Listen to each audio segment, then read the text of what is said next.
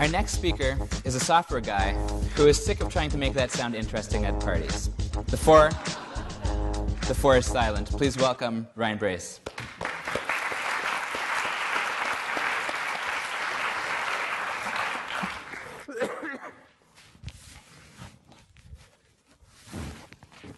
Our Earth is round and our maps are flat.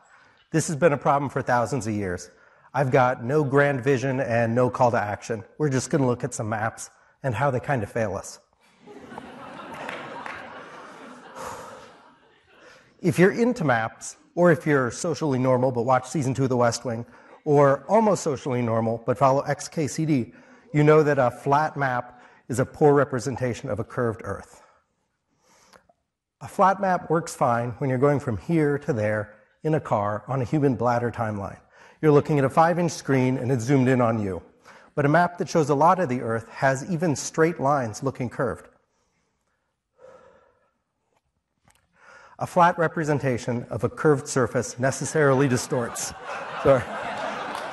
Gauss proved that, but it's obvious to anyone who's tried to flatten an orange peel or give a basketball as a gift. If you get area right, size is wrong. Size right, distance is wrong. This is the Mercator projection. It's a map for people who don't give a shit. It, it came out in the 1500s. It's, it makes things at German latitude look good. It's good for going east west. It's terrible at the poles. If you take a country and move it to a different latitude on a Mercator map, you can't even recognize it. Trying to slide it back where it's supposed to go becomes a fun and challenging puzzle. But misunderstanding the shape of countries affects us. It's why the true size of Africa goes viral on Facebook. On a Mercator map, Africa and Greenland are the same size, but Africa is 14 times larger. But people won't stop making flat maps of the whole Earth because they can be shown on TV. So the best we can do is understand which lie the cartographer chose to tell. Are they lying about area, or about position, or about location, or distance? From the huge variety of map projections, we can see that a lot of mathematicians and geographers think they found the right trade off, or the right one for a specific situation, and that they really like naming things after themselves. Whenever you've got a lot of mathematicians and geographers who think they have the best projection, you need a way to compare them. Here we see the Mercator projection, the projection everyone loves to hate, and the Peters projection overlaid. The red and green is where they disagree.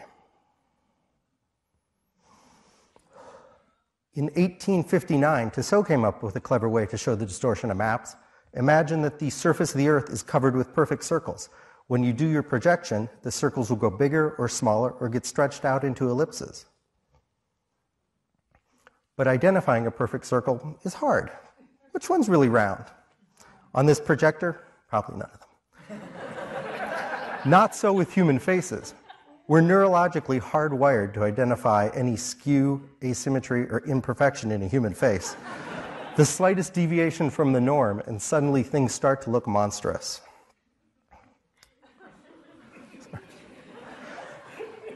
This was cleverly used in a 1921 book to show the projection, the effects of various projections, with some pen and ink drawings.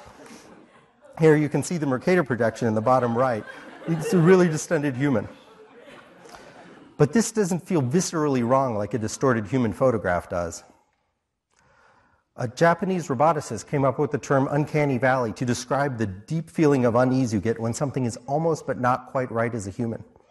To take, to take advantage of that, we need a grid of perfect human faces, which TV provides. if you take the Brady's and use them like Tissot indi- circles on the globe, you'll be able to see the skew in a way that's a little more noticeable. Jan might look right, but Marcia is distended like the scream.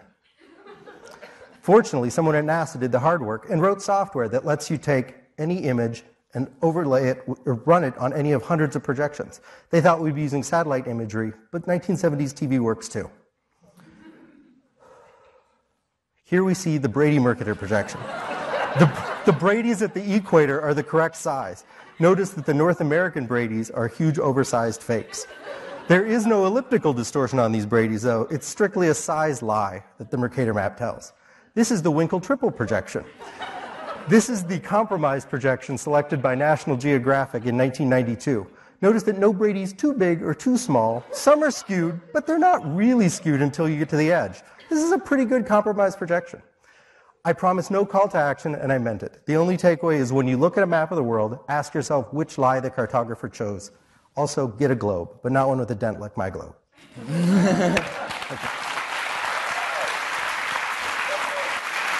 Thank you.